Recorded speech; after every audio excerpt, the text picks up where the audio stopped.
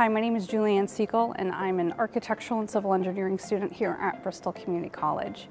Career Services hosted a virtual job fair that I attended and through them I was able to meet with a great company that helped me edit my resume for the engineering field. Being new to the engineering field, I was very grateful for the connection that Bristol granted me because this company then offered me my dream position as I was finishing up my courses. Because of that, I'm now in the fields that I've always wanted to be in. I absolutely love starting my dream career and I'm thankful that Bristol helped make it happen.